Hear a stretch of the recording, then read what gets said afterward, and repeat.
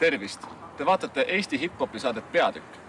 teises peatükis käisime me külas Genkal, kes meenutas oma lapsepõlve Kalamajas, kirjeldas oma karjääri algusaastaid ja üldse Eesti hip-hopi ajalugu.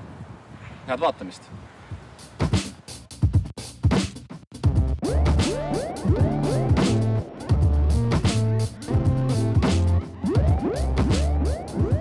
Genka, kus me oleme, mis me teeme? Me oleme mul kodus, istume, naudime kevadet, ilusat ilma. Äh, räägi, millal sa esimest korda üldse räppmuusikat kuulsid?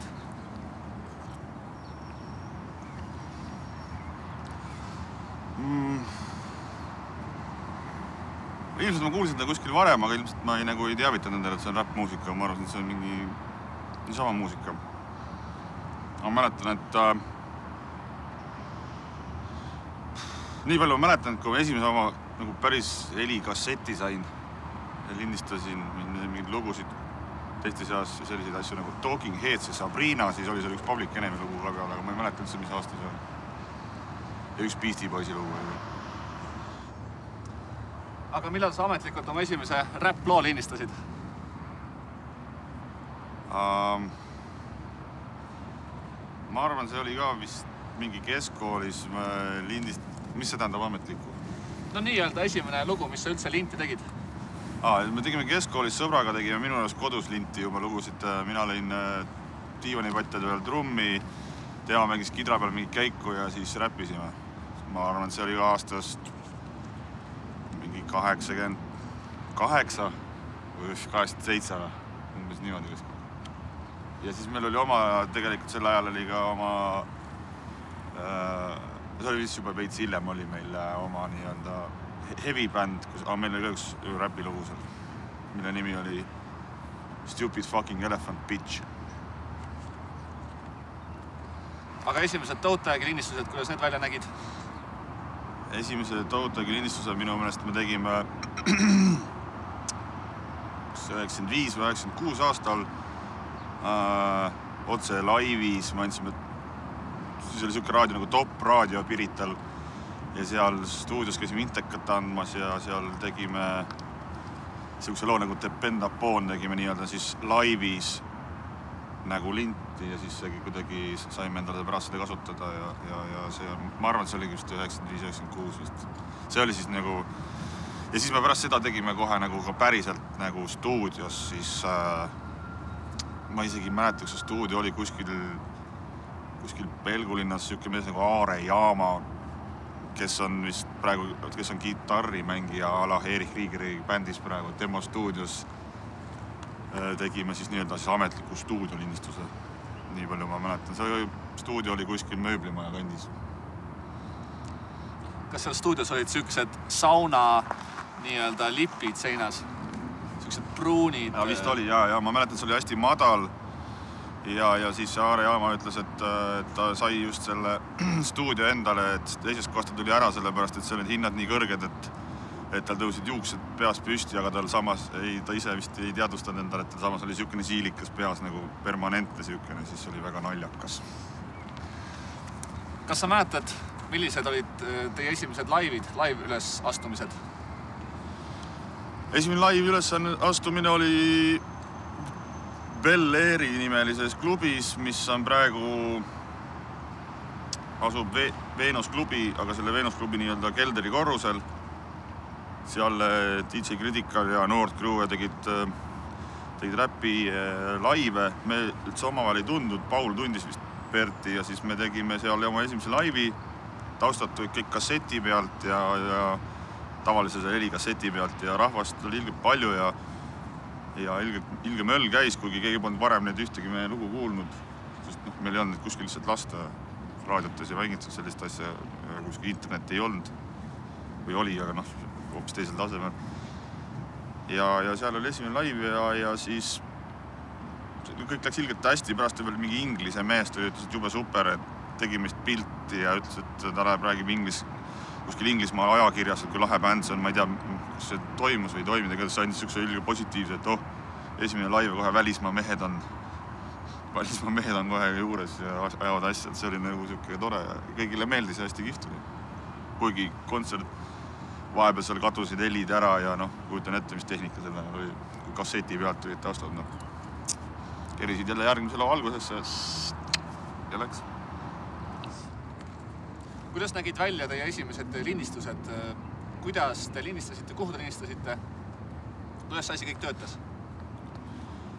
ma mäletan, mäletan seda, kui me seda Tootagi kassetti tegime, siis me tegime seda helikasseti vabriku mingis stuudios, mis asus seal, kus Ark praegu asub, siis autoregistrikeskus, selle kuskil üleval korrusel.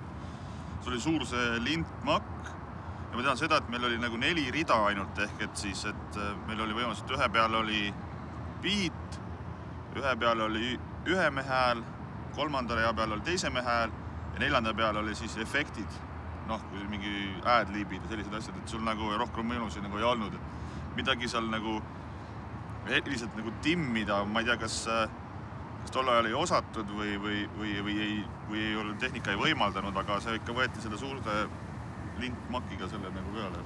aga jaa, neli rida oli, et sul nagu noh, läks midagi pekki, pidi jälle otsast peale kõik uuesti tegema, et mingit, mingit arvutit seal kuskil nagu vahepeal küll ei olnud, millega seal timmida asju. kuidas teie esimene kassett üldse müüs, kas see oli populaarne ja kuidas see rahvale meeldis? Mul on üldse selline asi, et ma ei tea, palju esimene kassett müüs, ma ei tea, palju esimene A-rühma plaat müüs, et need kuidagi anti nagu välja mingisuguste metseenide ja entusiastide poolt ja, ja, ja me olime niisugused noored, ega me nagu ei tundnud huvi ka, et ma ei tea, kas mingit raha me üldse saime sealt, ilmselt mitte ja ja kus seda müüdi ausalt öeldes ei tea, meil oli nagu selles mõttes tore, et me nagu olime keskendunud ikkagi nii muusika tegemisele, et meil nagu kogu see mingi müügiprotsess ja palju kuskil midagi müüb. no see oli veel niivõrd nagu sekundaarne ja nagu noh, pointless asi meie me nagu ei huvitanud sellest, meil oli peaasi see, et me saaksime kuskil mingeid livesid anda ja saaks nagu mingeid lugusid teha ja et see, et noh, see, see, see kuidagi on nagu läinud täiesti, ma ei kujutagi ette, ma arvan, et, et kassette võib-olla tehti viissada, võib-olla tuhat võib-olla rohkem, ma ei tea, ma, ma ei tea, kus neid müüdi, poes võib-olla müüdigi, võib-olla käest kätte, ma isegi seda ei mäleta. aga see, see, see noh, ütleme, see ei olnud nagu meie jaoks üldse tähtis, see müügi, müügimoment, et meil oli lihtsalt puhas muusika tegemise rõõm. Genka, mis tehnikat te kasutasite, kui te esimesi laive tegite? tehnikaga oli üldse sel ajal see, et ju ei olnud midagi saada kuskilt ja, ja iga, enne laivi oli nagu mingi nädala otsa sa ajasid nagu mingisugust tehnikat kuskilt taga.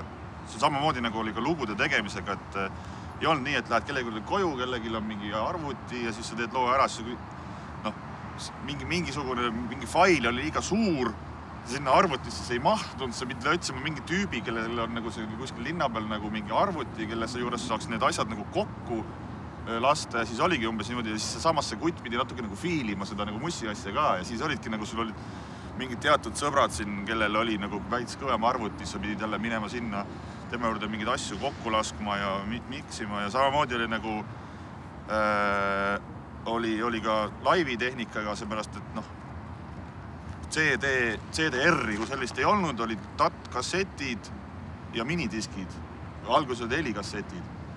ja siis olidki iga kord, et siis sa pidid hakkama otsima kuskilt mingit DAT-makki siis äh, kuskil öeldi, et meil DAT-Mac ei ole, meil on minidiski mängija, siis sa pidid minema kuskile ja siis äh, saama sa need asjad minidiski mängi peale ümber võtta. ja siis oli, et noh, et seda minidiski üldse saada, pidid sa juba nii palju ringi võimlema. ja ükskord ma mäletan, juhtus selline asi, et mingi, mingi õlu läks ümber kuskil Pärnus kontserdi ajal mini, mini, minidiski peale ja, ja sul ei olnudki nagu back-up versiooni ja siis siis umbes me aasta aega kontserdi ei andnud sellepärast, et ükskord õlu läks minidiski peale ümber ja meil ei olnud taustasid ja, ja oligi iga kord oli nagu sihuke ilge võimlemine selle tehnika pärast ja on ka olnud selline live mm, äh,, kus äh, Von Krahlis, kus mina ja Revo olime lava peal, räppisime ja siis äh, Paulile, Paulile pandi baaripukk sinna keset lava, ta istus baaripuki peal ja siis tal oli äh, selline a la nagu meil siin helitehnikul on selline nahkvutlari stat-makk vööga selle vihmaga kaelas ja siis ta istus seal baaripuki peal ja siis, kui tuli lugu, siis ta vajutas play. siis me oli, leppisime ära, siis ta pani stopp, rääkisime jutu ära ja siis istus seal niimoodi, vajutas niimoodi, siukene DJ oli veel siis, Statmaki DJ baari muki otsas. Genka, kus me siis nüüd oleme? kalamajas, siin kalamajas Kopli tänavul, kus ma üles kasvasin. ja mängisin ja tegin kõiki asju, mis ühe, üks kasvav noormees teeb. kus sa, mis majas sa elasid? selles samas puumajas siin, seal nurgas oli lõpuks minu, mu venna tuba oli. seal kõige, kõige ülemisel korrusel. no siin on muidugi palju muutunud selles mõttes muidugi, et üks asi, siin on mingid puukuurid ja siin oli ilusat valget seina ei olnud, et siin on mingisugune tehas, tehased hoopis. Ja tundus muidugi suurem ka see kõik. milline kalamaja sel, sellel ajal oli, milline kalamaja sellel ajal oli? Äh, hoopis teistsugune, et, et, et minu, minu kalamaja kogemus on, on äh, jah, teistsugune, et sel ajal, sel ajal ikkagi elasid siin kalamajas sellised äh, no ütleme nii, et ta ei olnud nagu kõige, kõige kihvtim ja e-, eliitsem ja niisugune koht, kus inimesed nagu praegu tahavad kõik elama tulla ja ja, ja aga eks ta igal pool on selline ju samamoodi kuskil LA-s ja kuskil vanad eh, tehasehooned tehakse loftideks, korteriteks ja kunstimeel, kunstimeelega inimesed tulevad sinna hea meelega elama, nii nagu Kalamajaga muutunud, et et nüüd sõidavad jalgrattaste ja ilusate prillidega inimesed siin ja sel ajal ikkagi, ikkagi ta ei olnud nagu nii eh, ohutu ikkagi sageli. siin lähedal oli ka, ütleme siin venelaste diskoteek ja, ja ja, ja siis ma mäletan, et iga kord ikka kui õhtul trennist tulime kuskilt, siis ma ikka panin trammi pealt jooksuga kodu poole, et midagi ei juhtuks, et seal nad juba kogunesid ja seal noh, niisugune tänaval tülitamine, tõstmine ja selline asi oli nagu nii igapäevane asi, et, et, et noh, praegu mõtled, et see on ju puhas ainult üks krimi, kriminogeenne värk, aga sel ajal nagu oli kõik nagu okei okay,, et noh, kui sa tänaval peksa võeti raha ära, siis oli nagu noh, mis siis, noh, see ela, elu on selline, kala, kalamajas käibki nii Koplis veel rohkem, sinna vist ei julgenud keegi üldse minna. kas siinne atmosfäär äh, mingil määral ka mõjutas sinu muusikalist äh, nii-öelda maailmavaadet? no ikka, et, et, et kui, kui nagu hakkasid nagu USA hip-hopi nagu kuulama, et siis noh, see mingi geto asi ja siis sa tõmbasid nii palju paralleele oma hoovist sellega, mis seal toimub ja ja ega noh, siis ikka toimus ka, et, et, et näiteks üks hommik vaatasime aknast välja, siis oli näiteks üks mees lamas verelõigus. hommikul vara päike paistis, verelõik, soe veri äh, auras. Koer, mingi kodutu koera kõrval limpsis verd ja noh, sellised vaatepildid paratamatult jätavad sulle mingisuguse. mul siinsamas hoovis kord juhtus selline et ema sõitis, tuli eile õhtul töölt ja siis sel ajal pidi ikka autol siin kõik lukud peale panema, roolilukk, pedaalilukk signalisatsioonid, noh, whatever. meil oli kaks autot, me parkisime null kaheksa ja null viis, kuna null kaheksa oli kihvtim, siis me parkisime null viiega selle null kaheksat, seda ei, ei varastataks, et kui varastatakse, siis null viis sellest nii kahju ei ole. noh, mingeid klaase, asju ja siin läks iga päev noh, kojamehi, peegleid, rattaid. ja siis ta tuli, sõitis siia, siis ma pidin akna pealt sealt vaatama, et, midagi temaga juhtuks, ta ka noh, ikka vabistas pime ja tuligi mingi mees, koputas ukse peale ja ema hakkas signaali panema, ma võtsin noa, jooksin alla, et mis nüüd saab. praegu tundub, nagu ma oleks mingisuguses selles USA Reporteri saates, võtsin noa, jooksin alla ja siis ja aga, siis? ja siis äh, ema ütleski, et kutt oli tulnud, püstoliga koputanud akna, ütlesin, et tee lahti, istu kõrvale. ma ei tea, kui mind ei oleks olnud, siis ma ei tea, mis oleks siit kõik saanud. ja, ja, ja jah, et, et, et ega siin kuidagi oli jah, niisugune väga kuidagi et siin see plokk oli, ega sa siit ikkagi nii naljalt nagu välja ei läinud, et seal teises kohas olid juba mingid teised mehed ja ja ega siis kohe noh, see oli meie hoov, meie olime siin natukene ka sealpool käisime, ütleme tüdrukute hoovides mängimas, aga eriti sa kuidagi ei lahkunud, siis kohe nagu sa ei tundnud ennast turvaliselt, kui sa läksid kuskile. võib-olla see oli lihtsalt nagu hirm, nagu hirmu suured silmad, aga, aga noh kui ikka sind paar korda kuskil kuradi peedistatakse kuskil tänava peal teises kohas, siis enam sinna ei lähe. sama juhtus ka vanalinnas või, või näiteks ma mäletan seda, kui ma läksin siit äh, Plaadimäele Harju mäel oli Plaadimägi, siis kogusin mingit raha, et mingeid asju osta ja iga kord, kui ma sain raha kokku, läksin jälle jala jälle tõsteti raha, jälle läksin sinna, sorry, ma jälle ei saa seda plaati või särki osta, jälle tõsteti ära ja rahast välja ja. aga muidu oli niisugune tore siin. kuidas te lapsena siin üldse aega sisustasite? nagu lapsed ikka, käisime, mängisime siin palli ja hukakat ja, ja värki ja, ja, ja kõike, mis oli nagu ikka lapsed. jalgrat-, jalgrattad vist varastati kohe ära keldrist ühe korra vist varastati küll kinni. aga mingeid koerastükke? noh, ega selles mõttes nagu ma ei olnud nagu mingi eriti koeruse mees nagu selles mõttes ma ikkagi olin ikka suhteliselt korralik, korralik laps. nii et kuritegelik noor ei olnud? ise ei pomminud äh,? hiljem tuli ka seda ette, noh see niisugune, hiljem tuli ka seda ette, jah.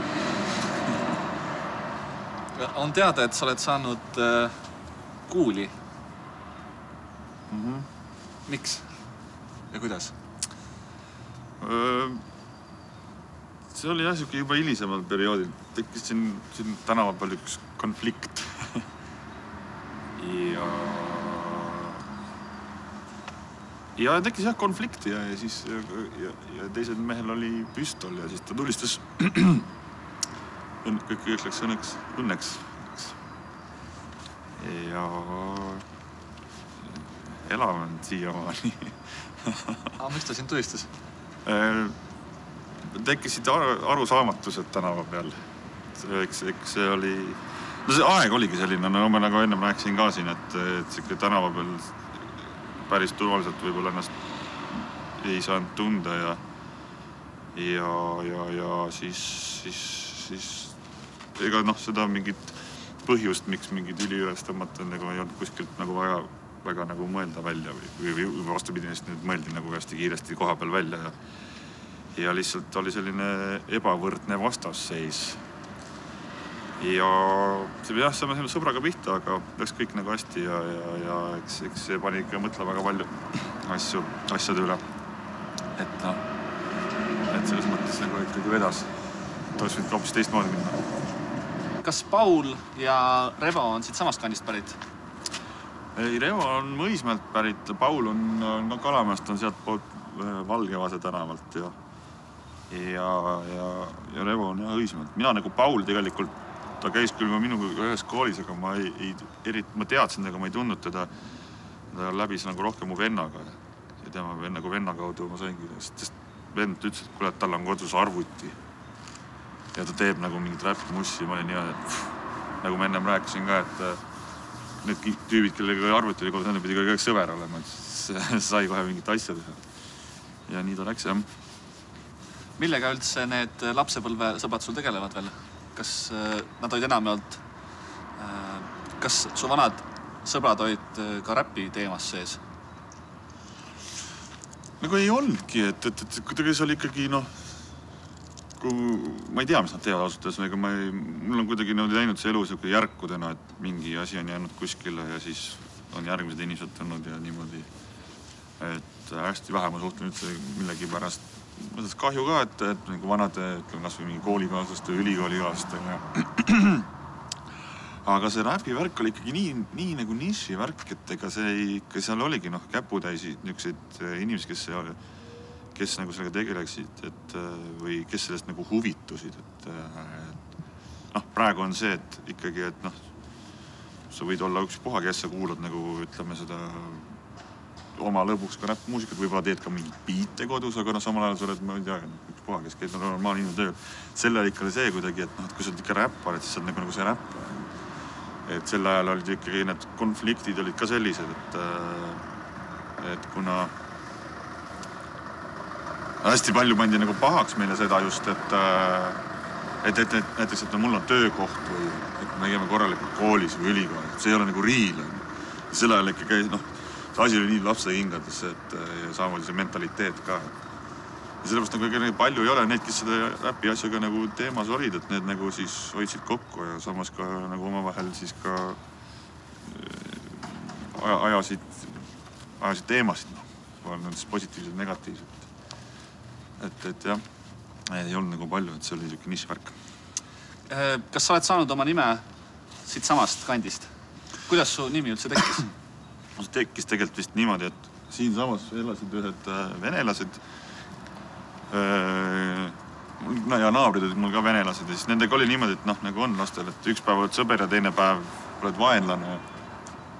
ja siis nad vist ütlesid mulle kogu aeg Genri või Genia, Gena.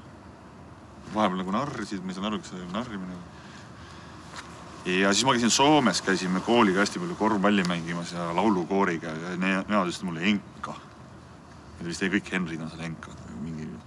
siis kuidagi kui tuligi kahest asjast kokku, mõtlesin, et juba rahvusvaheline, et kui venekeelsest ja soomekeelsest nagu paned kokku, et siis on lahe. muidugi algul tähendas G tähendas otse, otse loomulikult gängstat. olin siis niisugune gängsta või Enka aga noh, ilmselt ma siin paari kuuga sain aru, et noh, et see on ikka nii mõnus nimi aga algul oli ta vist veits niimoodi mõeldud küll jah algus oli G-Enka ja nüüd on Genka. jah, vist oli jah. Gäng-, Gangsta Enka, Gangsta Inka indiaani nimi selline oli meie peatükk Genkast. järgmises peatükis kohtub Pavel vene räpilegendi Basketiga, kes räägib meile selleaegsest klubikultuurist, korvpallist ja üldse räpi ajaloost. jääge meiega